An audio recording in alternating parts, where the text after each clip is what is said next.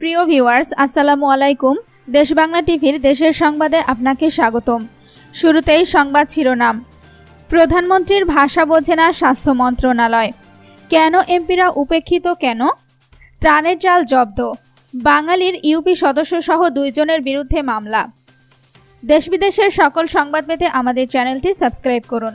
আর আপনি যদি আগে থেকেই সাবস্ক্রাইব করে থাকেন তাহলে সবার আগে সর্বশেষ সংবাদ পাওয়ার জন্য এখনই বেল আইকনে ক্লিক দিয়ে রাখুন। এবারে বিস্তারিত।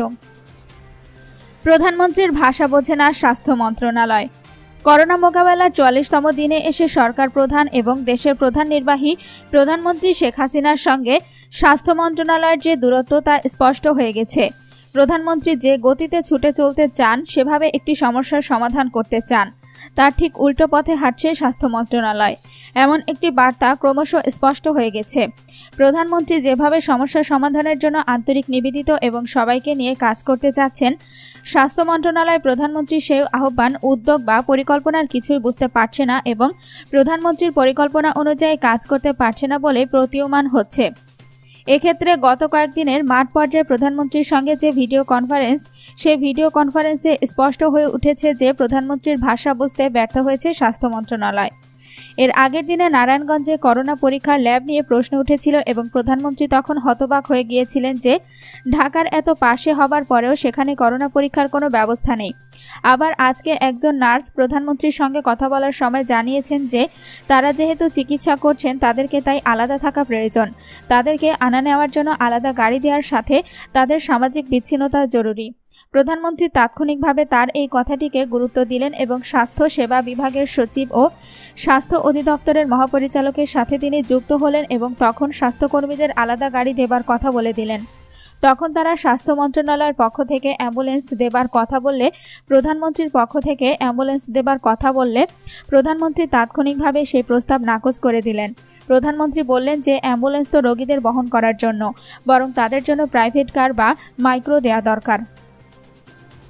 প্রধানমন্ত্রী কয়েকদিন ধরে পিপিই এবং এন নাইনটি ফাইভ মাস্ক নিয়ে কথা বলেছিলেন এবং আজ যখন স্বাস্থ্য মন্ত্রণালয়ের কর্মকর্তারা ভিডিও কনফারেন্সে যুক্ত হয়, তখন তিনি তার মোবাইল থেকে সেই ছবিগুলো বের করেছিলেন এবং তিনি স্পষ্ট জানিয়ে দিলেন যে মহানগর হাসপাতালে যে এন নাইনটি ফাইভ মাস্ক দেয়া হয়েছে তা আসল নয় এবং সাপ্লাইয়ার যেটা দিচ্ছে তা সঠিক কিনা তা যাচাই করা উচিত।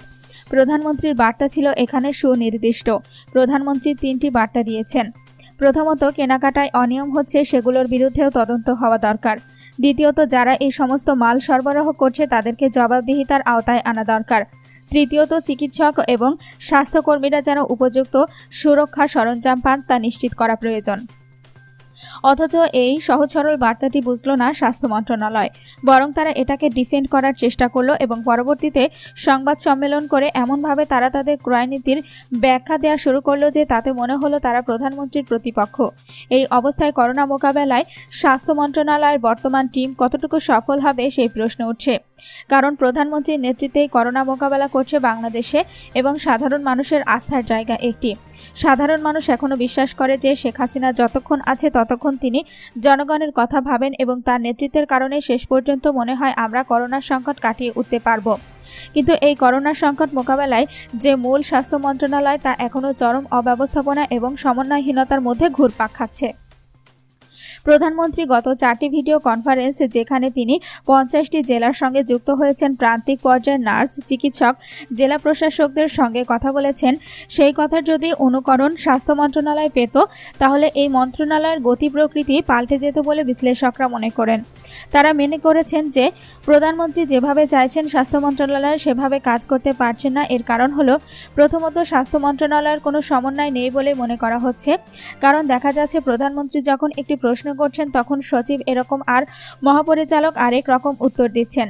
দ্বিতীয়ত, একটি বিষয় স্পষ্ট হয়েছে যে, স্বাস্থ্য মন্ত্রণালয়ের প্রান্তিক পর্যায়ের সঙ্গে কোনো যোগাযোগ নেই। প্রধানমন্ত্রী যেভাবে বাংলাদেশকে যুক্ত করেছেন এবং সরকারি তাদেরকে সাহস দিচ্ছেন, উৎসাহিত করছেন এবং তাদের পাশে দাঁড়াচ্ছেন, স্বাস্থ্য মন্ত্রণালয় এই কাজটি করেনি। দীর্ঘদিন ধরেই তারা এই কাজটি করার চেষ্টাও করেনি, বরং প্রান্তিক পর্যায়ের সঙ্গে মন্ত্রণালয়ের এক ধরনের প্রভুবিত্তের সম্পর্কের আবরণ তৈরি হয়েছে বলেও অনেকে মনে করেন। তৃতীয়ত, কেনাকাটায় নেই, স্বচ্ছতা নেই, কোনো জবাবদিহিতা। স্বাস্থ্য মন্ত্রণালয় করোনা মোকাবেলার জন্য দৌড়ঝাঁপ করে যে সমস্ত জিনিসপত্র কিনেছেন, সেটিতে যৌক্তিক স্বচ্ছতা নেই এবং জবাবদিহিতার ব্যবস্থা নেই। বরং মন্ত্রণালয়ে যারা জিনিসগুলো দিচ্ছেন ঠিকাদার, তাদের প্রতি সমর্থন জ্ঞাপন করার এক ধরনের প্রবণতা দেখা যাচ্ছে যা উদ্বেগজনক।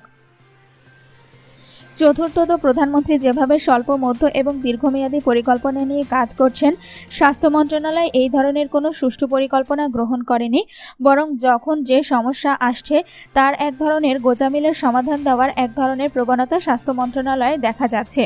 পঞ্চমত সমস্যা মোকাবেলা নয়, বরং থামাচাপা দেওয়ার এই কারণে প্রবণতা স্বাস্থ্য মন্ত্রণালয়ে গভীরভাবে আছে।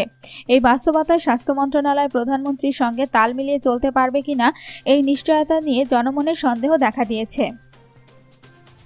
মন্ত্রী এমপিরা উপেক্ষিত কেন? করোনা মোকাবেলার কাজ সমন্বয় সাধনের জন্য চৌষট্টি জেলার দায়িত্ব দেওয়া হয়েছে চৌষট্টি জন সচিবকে। গতকাল সোমবার কোনো সচিব কোনো জেলার দায়িত্বে সে সম্পর্কে একটি বিজ্ঞপ্তিও প্রকাশ করেছে।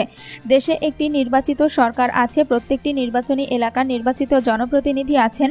প্রত্যেকটি এলাকারই জনপ্রতিনিধি নির্বাচিতদের সমন্বয়ে একটি মন্ত্রী পরিষদও যখন আছে, তখন করোনা মোকাবেলার জন্য এবং সামগ্রিক কাজ সমন্বয় সাধনের জন্য মন্ত্রী এমপিদের বাদ দিয়ে সচিবদের দায়িত্ব দেওয়া নিয়ে প্রশ্ন উঠেছে। এর ফলে কি বাংলাদেশ আমলাতন্ত্রের দিকে আরও গভীরভাবে যাচ্ছে, নাকি মন্ত্রী এমপিদের ওপর আস্থা রাখতে পারছে না প্রধানমন্ত্রী? এই নিয়ে রাজনৈতিক অঙ্গনে তোলপাড় চলছে। মন্ত্রী এমপিরা করোনা সংক্রমণ শুরু হওয়ার পরই এরকম হোম কোয়ারেন্টাইনে আছেন। দুই একজন মন্ত্রী ছাড়া কাউকে দৃশ্যপটে দেখা যাচ্ছে না। সরকারের নীতি নির্ধারণী কার্যক্রমেও তাদের অংশগ্রহণ দেখা যাচ্ছে না। এমনকি প্রধানমন্ত্রী যে বিভিন্ন জেলার সঙ্গে গণভবন থেকে ভিডিও কনফারেন্সের মাধ্যমে ধারাবাহিকভাবে যুক্ত হচ্ছেন, সেখানেও মন্ত্রী এমপিরা উপেক্ষিত। জেলা প্রশাসকদের নেতৃত্বে জেলাগুলোতে প্রধানমন্ত্রীর সঙ্গে কথা বলার জন্য টিম আছে, সেখানে মন্ত্রী এমপিরা আছেন। কিন্তু প্রধানমন্ত্রী প্রায় ক্ষেত্রেই মন্ত্রী এমপিদের চেয়ে প্রাধান্য দিচ্ছেন স্থানীয় প্রশাসনকে, এর পরিপ্রেক্ষিতে প্রশ্ন উঠেছে যে মন্ত্রী এমপিরা উপেক্ষিত কেন?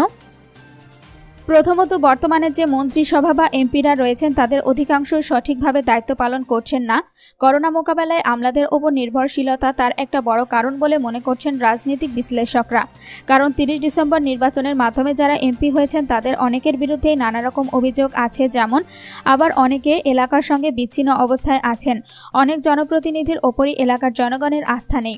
এটি প্রধানমন্ত্রী যে ভালো কেউ জানেন না, এজন্য তিনি মন্ত্রী এমপিদের চেয়ে আমলাদের ওপর নির্ভরশীল হয়েছেন। দ্বিতীয়ত, প্রধানমন্ত্রী চান যে এই কাজটার মধ্যে যেন কোনো রকম বিতর্ক না থাকে কোনো রকম দুর্নীতি অনিয়ম না হয়। প্রধানমন্ত্রী তার প্রতিটি বক্তৃতায় দুর্নীতি অনিয়মের বিরুদ্ধে কঠোর বাণী উচ্চারণ করেছেন। তিনি বলেছেন, দুর্নীতি অনিয়ম করলে কাউকে বরদাস্ত করা হবে না। সেই প্রেক্ষাপটে রাজনৈতিকভাবে এই সমন্বয় সাধন করলে পক্ষপাতিত্ব, দুর্নীতি অনিয়মের অভিযোগ উঠত। ইতোমধ্যে চাল, গম নিয়ে বিভিন্ন কেলেঙ্কারিতে জড়িয়ে পড়েছেন অনেক জনপ্রতিনিধি। এই বাস্তবতায় প্রধানমন্ত্রী এটিকে প্রশাসনিক কার্যক্রমের অংশ হিসেবে নিতে চান যেন এই ধরনের বিতর্কগুলো না এড়ায়।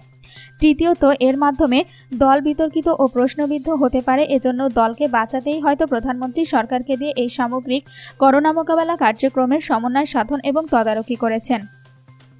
এর ফলে প্রশাসন রাজনীতিবিদদের ওপর পূর্ণ নিয়ন্ত্রণ প্রতিষ্ঠা করল বলে বিশ্লেষকরা মনে করছেন। ত্রাণের চাল জব্দ, বাঙালির ইউপি সদস্য সহ দুইজনের বিরুদ্ধে মামলা। সরকারি ত্রাণ সহায়তায় আট বস্তা চালের জব্দের ঘটনায় পটুয়াখালীর রাঙাবালি উপজেলার রাঙাবালি ইউনিয়ন পরিষদের ইউপি সদস্য সহ দুইজনের বিরুদ্ধে মামলা করা হয়েছে। সোমবার রাতে উপজেলা প্রকল্প বাস্তবায়ন কর্মকর্তা মোহাম্মদ হুমায়ুন কবির বাদী হয়ে রাঙ্গাবালি থানায় এই মামলাটি করেন। এই মামলায় অজ্ঞাত আরও দুই থেকে তিনজনকে আসামি করা হয়। এই মামলার আসামিরা হল রাঙামালি ইউনিয়ন পরিষদের যুগির হাওলা ছয় নম্বর ওয়ার্ড ইউপি সদস্য মাসুদ তালুকদার ও যুগির হাওলা গ্রামের আলী আকবরের ছেলে আয়ুব আলী ব্যাপারী। এজাহারে উল্লেখ করা হয় করোনা ভাইরাসের প্রাদুর্ভাবের কারণে হতদরিদ্র পরিবারের মধ্যে বিনামূল্যে বিতরণের আটা, চাল ট্রানের বস্তা, চাল আয়ুব আলীর বাড়িতে মজুদ আছে। এমন গোপন খবর পাওয়া যায়। এর ভিত্তিতে সোমবার তার বাড়িতে অভিযান চালায় পুলিশ। বিষয়টি টের পেয়ে আয়ুব আলী আত্মগোপনের চেষ্টা করলে তাকে আটক করে ঘরে বন্দি রাখা হয়। সরকারি চাল মজুদের বিষয়ে জিজ্ঞাসাবাদ করলে আয়ুব আলী জানান যে, স্থানীয় ইউপি সদস্য মাসুদ তালুকদারের কাছ থেকে চালগুলো বিক্রির উদ্দেশ্যে তিনি এনেছেন। অজ্ঞাতনামা আসামিদের সঙ্গে যোগ সাজস করে অসৎ উদ্দেশ্যে সরকারি এই চাল মজুদ করেছেন তারা।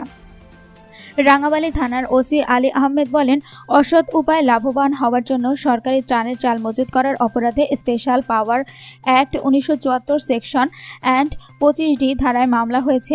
ইউপি সদস্য ঘটনার পর থেকে পলাতক, তাকে গ্রেফতারের চেষ্টা চলছে। উপজেলা নির্বাহী কর্মকর্তা মোহাম্মদ মাশফাকুর রহমান বলেন, বিষয়টি জেলা প্রশাসক মহোদয়কে অবহিত করা হয়েছে।